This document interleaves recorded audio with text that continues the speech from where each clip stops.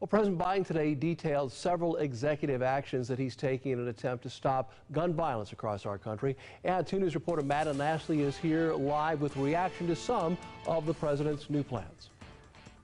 Mark, some people I spoke with feel President Biden is serious about fighting gun violence. Today, the president calling recent mass shootings in America an epidemic and a national embarrassment. He says he's focused on tightening gun control to help save lives. Restrictions to homemade gun kits or ghost guns, placing pistols modified with stabilizing braces under the National Firearms Act, and strengthening extreme risk protection laws, all a part of President Biden's plan to fight gun violence. I'm happy that somebody is taking initiative and being a leader.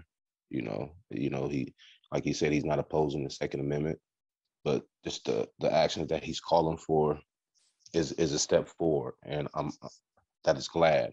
I'm glad to hear that calling it a public health crisis. President Biden says an average of 316 people are shot in the U.S. each day, with 106 dying. Gun violence in this country is an epidemic, and it's an international embarrassment. And for him to take this initiative is is wonderful. We've been waiting for a long time for somebody to stand up and say some of these things. But not everyone is sold that President Biden's actions will help. You know, the other large portion of gun deaths is through common criminals killing each other and killing uh, bystanders also. And again, gun regulations don't affect those people because they live outside the law anyways.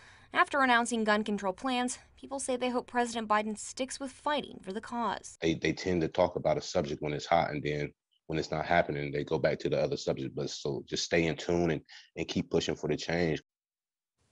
Along with gun control initiatives, President Biden took time to nominate gun control advocate David Chipman to be the alcohol, tobacco, firearms, and explosives senior policy advisor, a position which hasn't been filled on a full-time basis since 2015.